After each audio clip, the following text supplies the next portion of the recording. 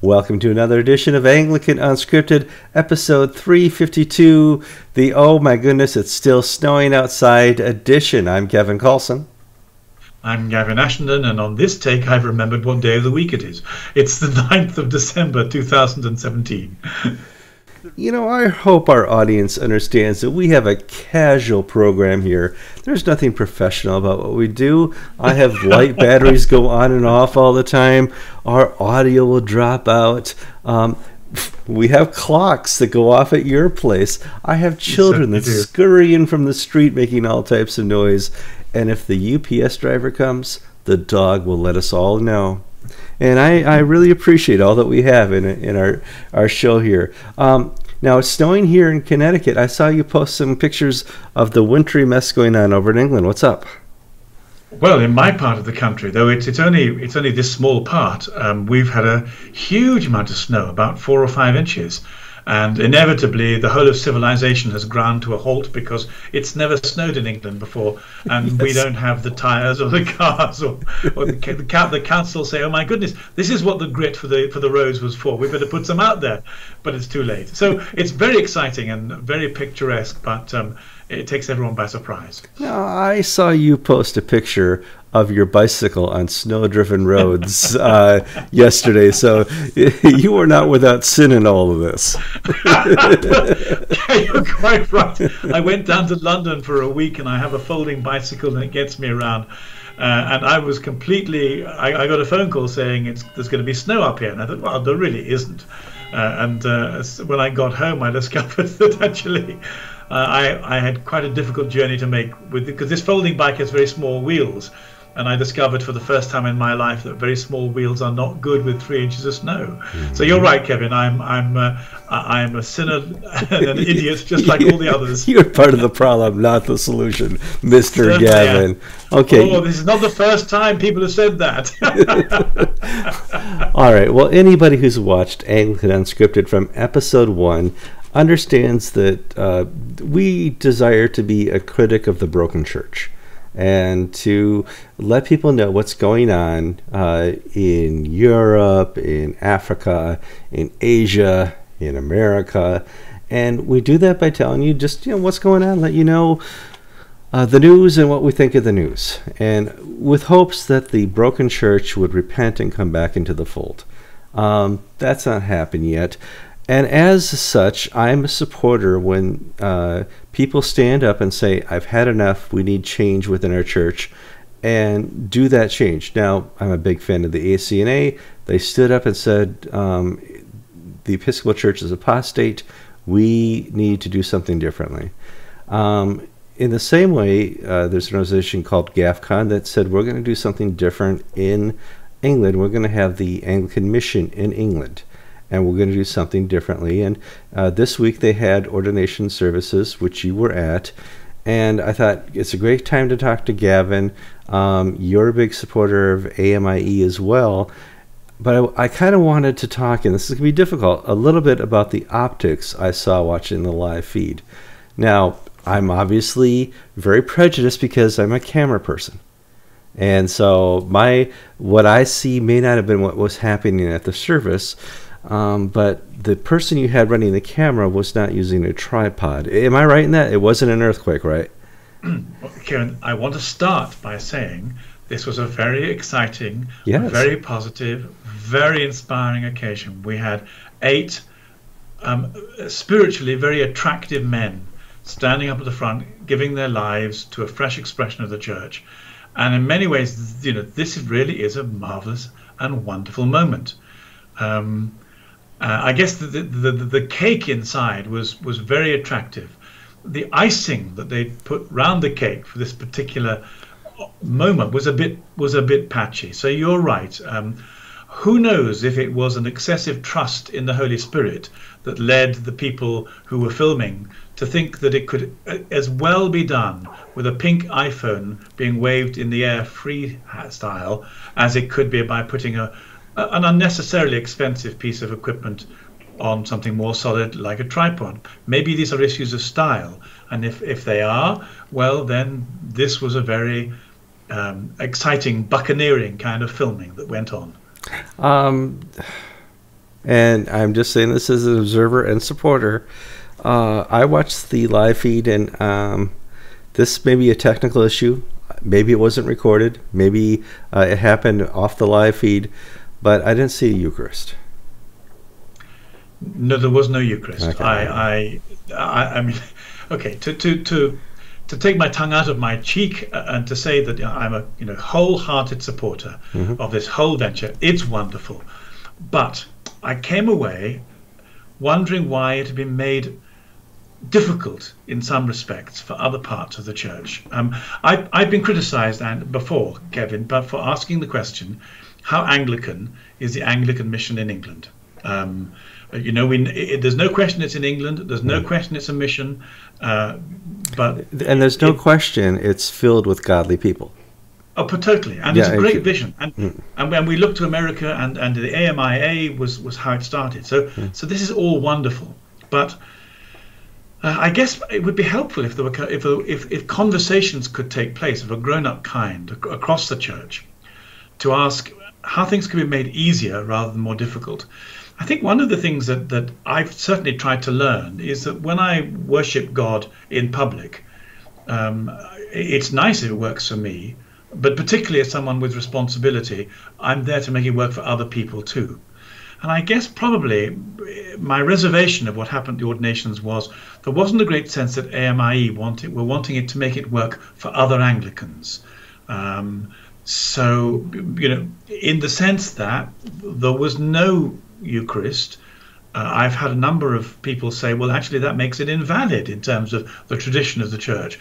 Well, AMIE are not really worried about the tradition of the church, so that's not going to upset them very much. No, but, on, but but but on the but on the other hand, um, well, I can tell a may I tell a story? Sure, go uh, ahead. Well, once upon a time, there's a very famous man called Dick Lucas in, mm-hmm. in England. Dick Lucas was uh, behind St Helens Bishopsgate. He had amazing ministry, uh, at the very co- conservative low end of the church. And I was I was uh, highlighted as, as a kind of up and coming evangelical. This was a mistake, as you'll see in a moment from the story, and taken away on one of Dick Lucas's weekends. Kevin, I'm a provocative man without any sense of perspective, and I have made idiot mistakes the whole of my life. And one idiot mistake I made was listening to, to um, uh, listening to Dick Lucas explain to these this this great group of curates he got together that uh, from the New Testament when Jesus broke the bread, he also taught the people. So as, as they shared the miracle of, of, of the loaves and fishes, he also taught them. And that we were said, well, okay, Dick Lucas said, whenever there is a service of Holy Communion, make sure that there's a service of the Word too. Never, never let a communion service go by without breaking the word to the people because that's what it says in the Gospels. So, like an idiot, I piped up and said, Excuse me, um, Mr. Lucas. I see there was would going. It, would it also be the case from the model in the Gospels that you've given us that whenever there is a service of the word, we should stand up and say, Let there be a Eucharist, because that's what Jesus did. And I was never invited back, quite rightly. I, but if, if we come if if I could be I could be rector of St Helens Bishopsgate if only I'd kept my mouth shut at that Probably point. yes. I, I, I think not. But one has to say, by breaking the pattern uh, of the whole church and not having a Eucharist, this then makes it much more difficult to access for, for, for a whole load of people. There's also the question of you know, how do you do public worship? Well, Anglicans mainly do it with robes. It's true, we've just passed well, the Church of England has just passed a law saying you don't have to have them anymore. Um, and they didn't have any robes, no robes, no vestments. It, it took informality to a level of undreamt of sophistication. it was truly, truly informal. But but again, the difficulty is that this makes it this places it at the extreme end of what it is to be Anglican. I found myself wondering, for example, if it had been a Catholic Anglican Mission Society and they had decided to do it with statues of Mary being processed around all the time and people bowing every five seconds, you know, how easy would it have been for, for other Anglicans to say we, we can get on board with that? Yeah. Or, or vice versa. Uh, that would have been as divisive as well. I mean, uh, yeah. I think we've been spoiled by the ACNA. Uh, they have this big tent, and in this big tent, um, the services they have, at least in public, uh, tend to be well dressed. Um, uh, they're all consistent in how they are performed. Yet I can see some of the the um, difficulty in this because when I go to African events, uh, the bishops are often dressed uh, in the red colors that they so adore, um, even if it's out of uh, season or out of uh, uh, the color for that that season. And so I, I, see some of the the difficulty within the, the whole of Anglicanism to have a consistency uh, to some of this. And I don't felt that so much, but um, it, watching the service online, it was kind of just one thing after another after another. Great sermon, great message, great ordinance. Um, uh, all things are going great, but you know I'm not the only person watching, and when we posted the link on our uh, website and Facebook, the same things I'm saying and noticed were noticed by everybody. Mm-hmm. Everybody said the same thing. Wait, where's the Eucharist? Everybody said, "What? No robes? Are we not? Are, are we robed people not allowed?" Um, and so I, I, I would hope that the AMIE would uh, know that they are a international movement as much as they are a national movement. And uh, I think that's that, that's true. I mean, we were with the, the, service began quite rightly, mm-hmm. and again, all credit to the organisers. Sure. With messages from four archbishops, and they yeah. were great messages.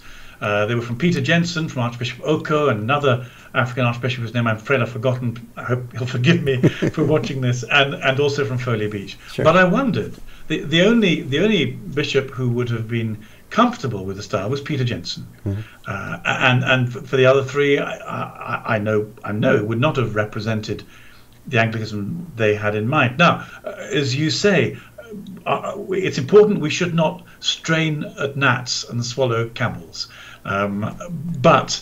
Uh, we all have a responsibility to make our Anglicanism accessible sure. to each other. And, mm. I, and I, I remember when Foley Beach came to England once, um, for a meeting. Um, and he said to the people, "Look, I come as an Anglican. I, I come with a with a deep respect and love of sacramental Anglicanism, uh, with a complete commitment to evangelical Anglicanism, to, to, offering the word for repentance and conversion. And, and I'm very grateful for everything the Holy Spirit has given. Uh, if if you have trouble with that model of Anglicanism, then you know our friendship isn't going to go very far.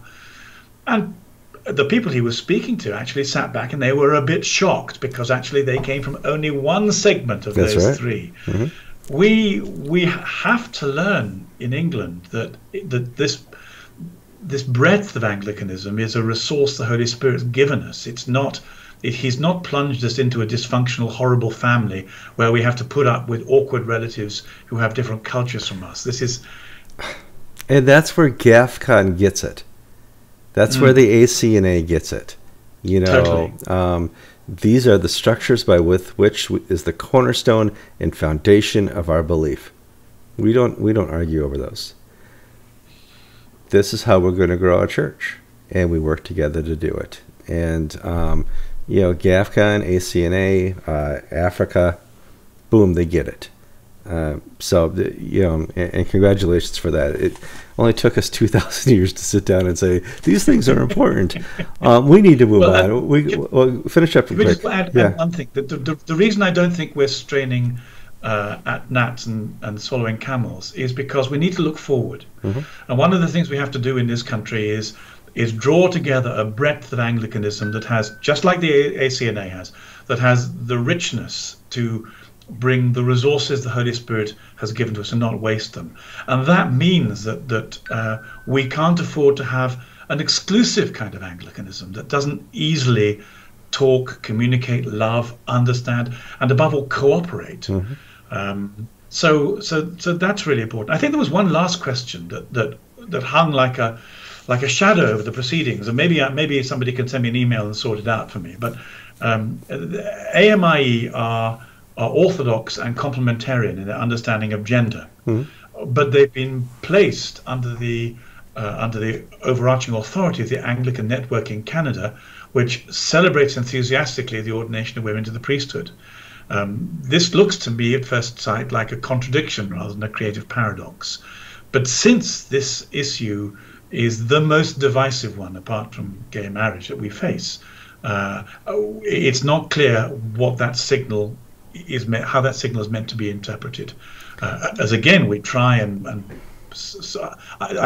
in one sense, that's the thing that ACNA has not sorted out. Uh, you've kicked the can down the road very successfully, and maybe maybe that's a lesson to us too. But it hangs there in the air as an unresolved issue. yeah, I mean that's something that obviously will be worked out in the future. Um, now, in fairness to GAFCON, uh, you know this is the second try as far as they had a great success with the ACNA. ACNA was waiting to happen. Um, nobody knew that the Church of well, some people did, maybe yourself, that, that the Church of England was going to crash so hard in the last five years. Um, no, I, I, don't think anyone knew. yeah, and so you know, GAFCON said, well, eventually we're going to put a team in in England and, and, do something. Boom! That time came much faster than anybody had assumed, and uh, so you know, GAFCON uh, is doing their their best, and you know, obviously in difficult situation, trying to uh, uh, put together a formulary for uh, the mother church. Ah, geez, I, I, I, don't envy them. All right. Now, I, we, we were talking about crazy Church of England here. I need to talk about the, the crazy Scots. All oh, right. the wicked fairy. just like since you and I have been recording, we talked about a Scottish church that had Muslim prayers. Uh, we've talked about uh, a you know many other things that the, the Scots like to do that are so innovative. And now I'm looking at uh, an appointment of a, a, a female bishop uh, in a conservative diocese, and that I'm looking at uh, um, a priest who wants to pray that the uh, the, the, the, new Prince George uh, suffers uh, homosexual attraction and becomes gay. And I'm like, what is going on? And I need to ask you, Gavin, what is with the Scots? well, it isn't the Scots. It's just that what you're seeing is progressive. Pro- progressive. It's, it's, not Christianity. So a progressive spirit mask, masquerading as Christianity. So with the new woman bishop of Argyll, this was a, the most conservative diocese, mm-hmm. and of all the places where where they asked for a male bishop, uh, the liberal progressive conspired together to inflict and enforce a progressive woman bishop upon them. Um, if you remember all the screaming that took place when uh, there was an attempt to offer Philip North mm-hmm. in a diocesan, and then the, you know, the, the progressive voices raised against him were cacophonous and bitter. You cannot do this to us against our will. A bishop is supposed to be a symbol of unity. Um, but the moment it's the other way round, uh, this is why it's never equal and never fair and never true. Uh, they they undermined the, uh, the the wishes and the needs and the representations of an Orthodox diocese and forced on them a woman bishop. Mm. Um, uh, I know it, it's just you know it, it's it's simply reprehensible. Wow. Uh, uh, the, the, the, other story you mentioned is is um, I, I, have to declare a special interest in this because it was when the provost of uh, the uh, Episcopal Cathedral in, in Glasgow uh, had a reading from the Quran that I objected and uh, found myself uh, with a greater public profile than I had expected. So I've criticised him once in the last 12 months already, and I, I've criticised him again. Uh, he, he, in fact, wrote this article about Prince George a long time ago, but because of Prince Harry's engagement, he thought it was a great moment to release it. And he's an LGBT campaigner, and he wants uh, he wants this was for the Church of England. He the Church of Scotland, uh, not the Church of Scotland. Sorry, that's the Presbyterian Church. Uh, the Anglican Church in Scotland, the Episcopal Church, has just agreed to do gay marriages. It's mm-hmm. causing division and schism, and congregations are walking out of their buildings. And he wants the Church of England to do the same thing. So he had this prayer, you know, maybe if Prince George was gay, uh, this would teach the English to love gay marriages. I know, let's pray he becomes gay. There are several problems with this. I, have written a couple of articles, people won't see them, but the really bad ones are should you really be using a child for this? Uh, and the next question is if you start using prayer in this way, you need to be absolutely sure this is what God wants, or it becomes magic uh, you know, uh, invoking spiritual um, forces to do something against the will of God uh, isn't prayer. It, it's it, it what comes close to being what magic is. And the third, perhaps really critical thing is there's been a huge fuss about not allowing people to pray with gay people who are suffering unwanted same-sex attraction. Uh, the, I can't tell you how much fuss has been. They've managed to get the, the Royal College of Psychiatrists, the, the, the British Medical Association, uh, all the professional associations you could imagine have been got at to say we, we will not allow any kind of reparative conversion therapy, and that includes prayer. So suddenly, in the in the um, interests of equality, uh, the gay dean of, uh, of Glasgow Cathedral says it's okay to pray the gay in, you're just not allowed to pray it out. And that gives you again the extent of the disingenuity, the unfairness, the lack of integrity uh, of, of this whole conflict. So, all the way through this, the liberal spirit appears and pretends to play fair, but actually it's playing foul and it knows it is. Well, I'm getting phone calls from the dear wife who's probably stuck in traffic, so I need to take the phone call. Uh, I do thank you for your time. Um, quickly, St. Helens. Uh, they uh, they wrote they wrote a quick letter saying we are done with the deanery. Um, what are the implications with the Church of England in this? This is Dick, this is the great church that Dick Lucas has established. Right. Um, they published a letter online during this last week saying uh, because of the public um, stand taken by so many members of the deanery in favour of progressive Christianity, they are withdrawing from the deanery uh, in order not to appear to be walking together. Um, one can look at this in two ways. One can say, hooray, this is fantastic. Another Orthodox congregation making a stand against the Church of England, brilliant. The downside is that, that large evangelical congregations like this never were very much involved in the deanery in the first place. Uh, and probably this is not a sanction that's going to make the Church of England lie awake at night. Um, it's it's a it's a small step in the right direction on a matter of good principle, but it's only a very small step. All right. Thank you very much for your time, Gavin. I'm Kevin Kallsen. I'm Gavin Ashenden. This has been episode 352 of Anglican Unscripted.